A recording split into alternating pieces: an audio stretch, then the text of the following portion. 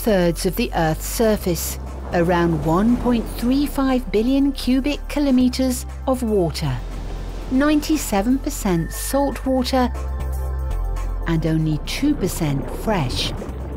The bottom line water is crucial to survival.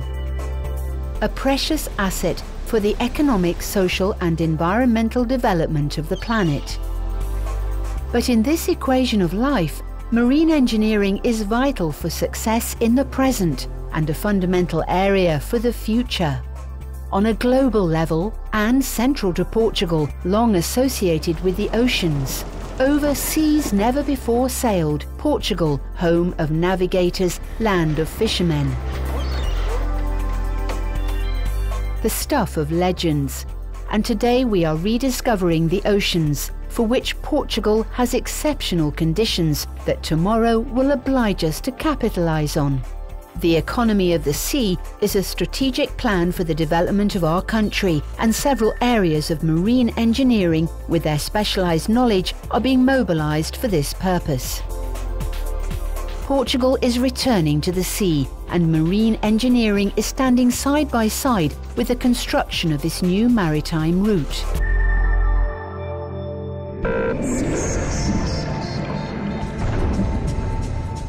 Knowledge research, innovation, rigour, responsibility, ambition, security. Words dictate works, and works result from commitment. This outlines the work of marine engineering. Knowledge of the past, hand in hand with research, gives life to innovation in the present with rigour and responsibility for the future.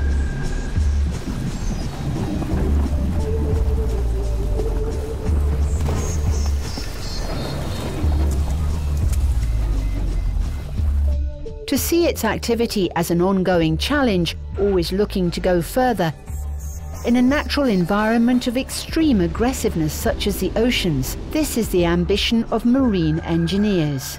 This is the posture of a profession with the mission of bringing security to the seas, planning the evolution of society in Portugal and the world, the world which marine engineering helps to make more global. And it is right here that the role of these professionals becomes relevant. They are, and increasingly will be, crucial for the technological developments for the sustainable exploitation of the multiple resources of the sea. And beyond the traditional industries of construction and equipment for marine and coastal uses, today we are witnessing a development of eco-technologies, an opportunity in our geography and our sea as the main natural resource.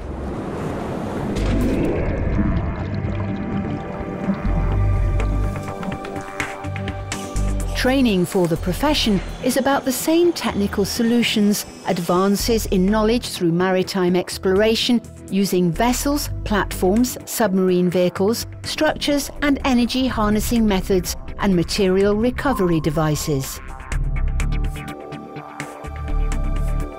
And with such a wide range of focus points, the same curriculum of mathematics, physics and chemistry and computer and material sciences. After this, and to specialise in the profession, hydrodynamics, mechanics, naval architecture, marine engines, construction techniques, project management and logistics complement the curriculum of the future marine engineer. These are, in general, the areas of a higher education where the Portuguese Engineers Association makes every effort to meet the solid goals of rigour and quality and where training is renewed and adapted to the latest demands of society through a process of continuous training.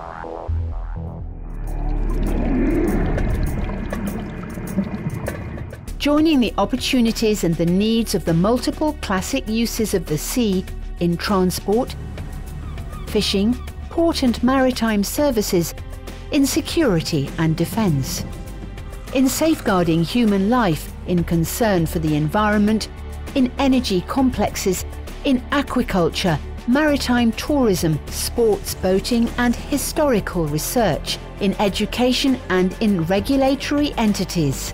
The areas of activity of marine engineering are multiplying with the importance the oceans are assuming with each day that passes. This is the objective for posterity and always with the stamp of the Portuguese Engineers Association. Because this is no longer about a sea route, it is about discovering and building a new world with marine engineering.